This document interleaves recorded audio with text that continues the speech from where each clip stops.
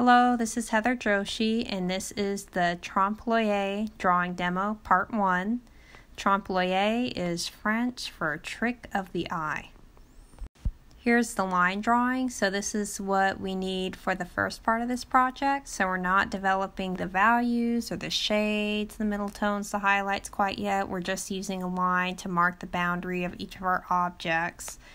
Um, and what you're going to be making is a collage on another 11 by 14 sheet of paper. Um, use flat things, stickers, tickets, small, like I had the, these little like glasses cleaner packages, scrap paper, anything that you have around your home.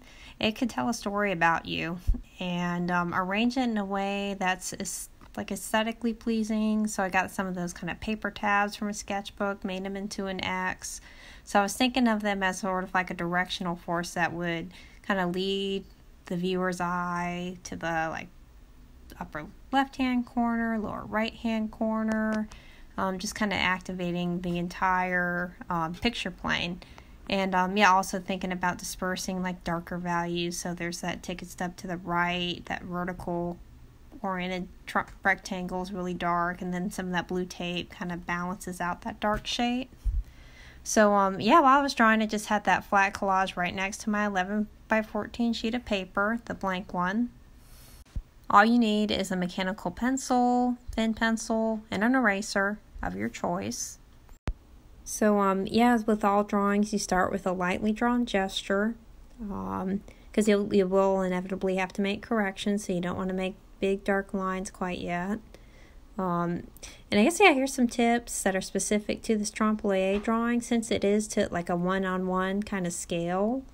Um, right now I'm just kind of lining up the collage with the um, drawing to the left and I'm making sure that those horizontal kind of lines are matching up so I get the right height for each of the scraps of paper. Um, you can also call this a level line. So think about like level ground.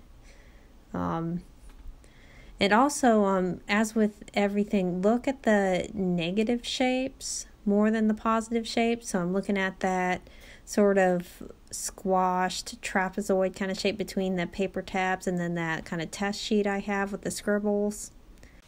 You can also check the vertical lines within your drawing, within your collage, and see how they match up. Um, these are called plumb lines. So we'll just take a look at the gesture once more. So just look at the, the outside of each of your torn sheets of paper, stickers, whatever you choose to draw. And then once you get those basic shapes, you can start getting those minute details, such maybe like a serrated edge, a tear, I drew dashed or dotted lines to describe um, objects that might be kind of peeking out through a piece of paper that was overlapping it.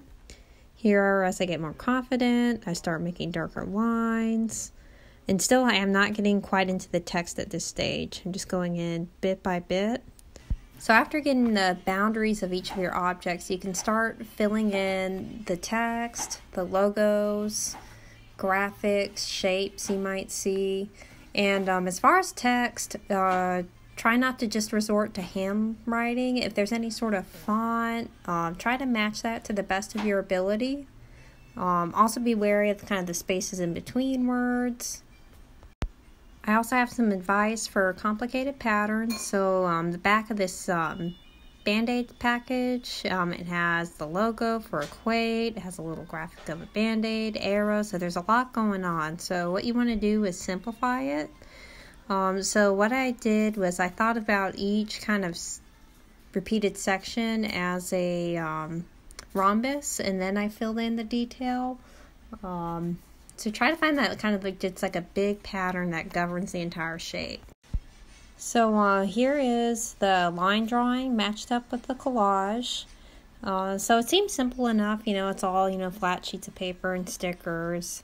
And again, we're just making a line drawing, but don't underestimate the time and effort it'll take. Um, it is very precise. You do have that one-on-one kind of scale, so it drives you to look like be extra careful. So um, it's laborious, but I guess it's kind of you know listen to some good music while you're drawing or some interesting podcast and um, enjoy the process of creating your trompe l'oeil collection drawing. Thank you so much for watching, and I'll be posting the second part pretty soon. Bye.